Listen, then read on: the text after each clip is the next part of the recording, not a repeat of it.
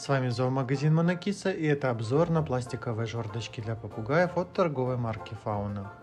Прикрепить перекладину можно в любом месте клетки.